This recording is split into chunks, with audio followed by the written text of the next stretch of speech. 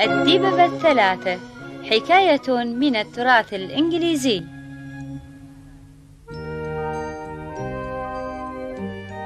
كان يا مكان في قديم الزمان. كان هناك ثلاثة من الحيوانات تعيش مع والدتها.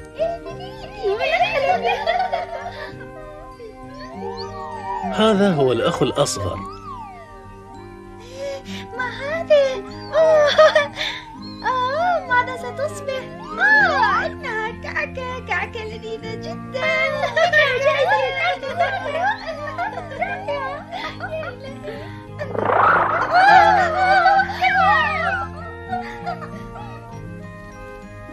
أيها الصغير. حان وقت عودتك إلى البيت. هيا بسرعة. حاضر. هيا يا إخواني. أمرتنا أمي بالعودة. أوه لا فائدة من ذلك. سوف يعودان إلى اللعب. هذا ما يحدث دائما. فعندما تطلب منهم الأم شيئا يفعلونه يخبئ الأخ الأكبر نفسه في مكان ما كي لا يؤدي عمله. إنهما هكذا دائما. وهذا هو السبب الذي يجعل أخاهما الصغير مرتبكا دائما. هذا هو الأخ الأوسط إنه يحب الأزهار. وهذا هو الأخ الأكبر الذي يحب النوم.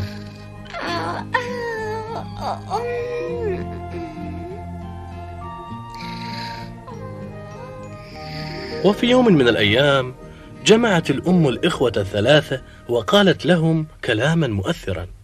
أريدكم يا أولادي أن تستخدموا طاقاتكم لبناء بيوت قوية لكم. لا أدري أي نوع من البيوت هو الأفضل. لذا سأنتظر لحين إنجاز البيوت لأعرف من هو الأفضل. فرح الأخوان الكبيران جدا لأنهما في هذه الحالة سوف يستطيعان أن يناما ويستيقظا متى شاء. سأبني بيتي الصغير حالا. سأبني بيتا جميلا. استمعوا إلي جيدا. الشيء المهم عندي هو أن تبنوا بيوتا قوية جدا خوفا من الذئب. نعم. الذئب يا إلهي عندما يأتي الذئب فإن القرية تقرع الأجراس إنذارا بالخطر. عندما تسمعون الجرس أغلقوا أبوابكم بالمفاتيح. هل تفهمون ذلك؟ حاضر. حاضر. ابتدأ الإخوة الثلاثة ببناء بيوتهم قرب النهر.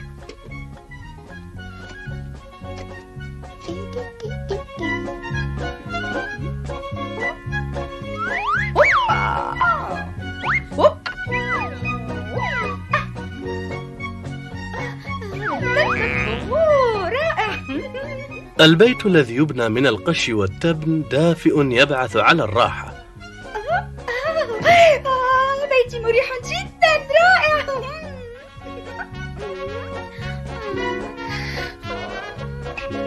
أما الأخ الأوسط فقد بنى بيته من الخشب.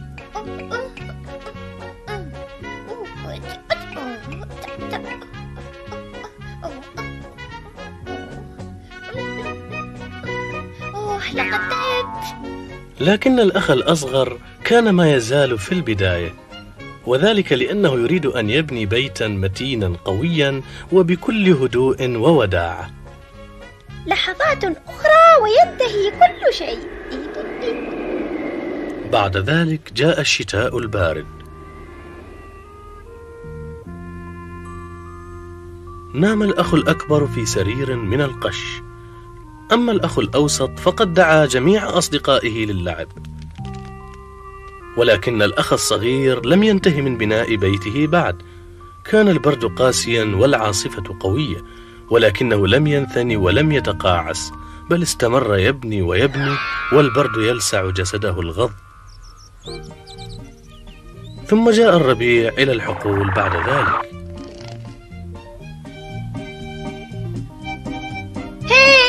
لقد انتهى البناء فعلا انتهى. وأخيرا انتهى الأخ الأصغر من بناء بيته. هل هذا هو بيتك؟ له من بيت غريب. من المؤكد أن بيتا غريبا كهذا لا يمكن أن يكون مريحا. إنه يشبه السجن. دق ناقوس الخطر وهذا يعني أن الذئب في طريقه إلى المزرعة.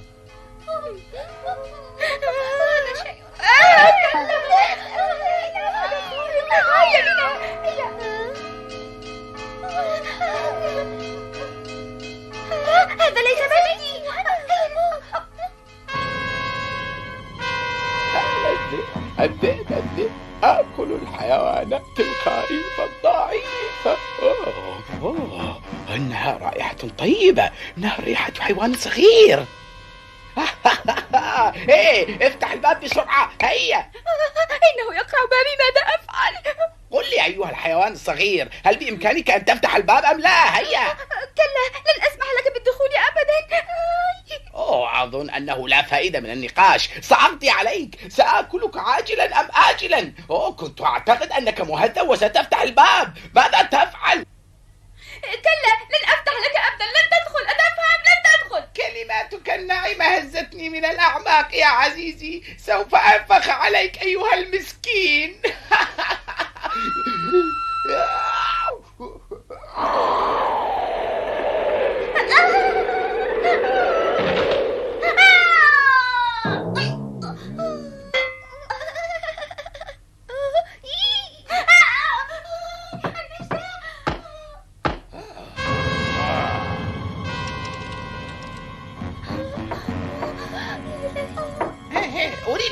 آكل الحيوان منذ وقت طويل لكنه يغلق الباب ولا يريد أن يفتحه. هيا افتحوا الأبواب هيا! إن هذا البيت مصنوع من الخشب كما تعلم فلم تستطيع الدخول إليه. هل فتحت الباب رجاء بسرعة؟ هيا! أوه ماذا تفعل؟ قلت لك افتح الباب حسنا.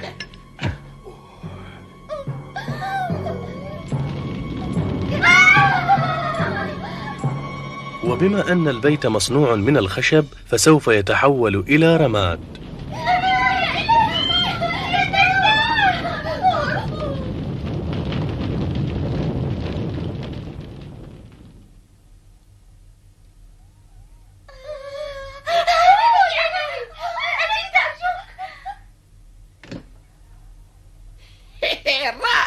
سوف يكون باستطاعتي أن أكل ثلاثا من الحيوانات في وقت واحد دعونا ننظر الآن كيف سأصنع منهم وجبة شهية.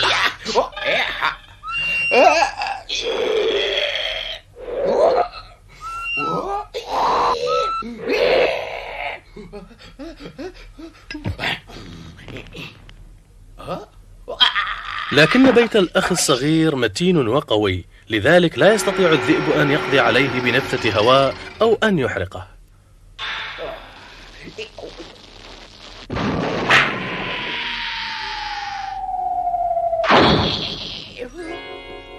كان الذئب حائرا فيما يفعل فهذه هي المرة الأولى التي لم يستطع أن يسيطر على فريسته التي هي على مقربة من عينيه.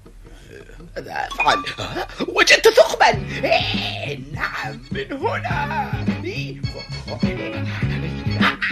اعتقد الذئب أن باستطاعته أن يصل إلى البيت عن طريق فتحة الموقد الموجودة في أعلى البيت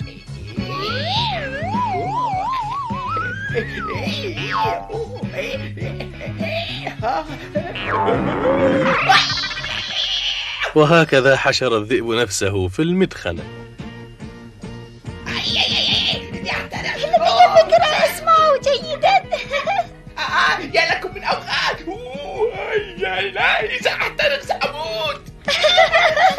لقد أشعل الأخ الأصغر النار في الموقد.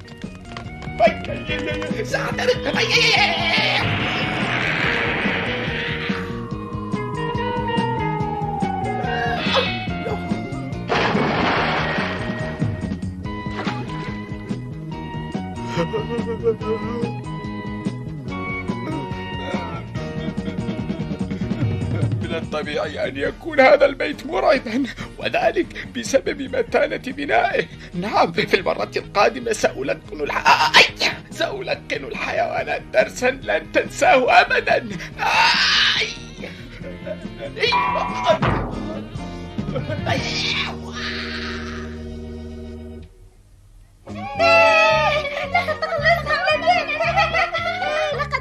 خطتي نجحت. الفضل يعود لك يا أخانا الأصغر. نعم. هذا صحيح فعلا. لو لم تحمنا في بيتك أنت لكنا الآن قد أصبحنا أكلة شهية في بطن الذئب. هذا هذا بفضلكم أنتم. لا تخجل يا عزيزي لا تخجل أبدا.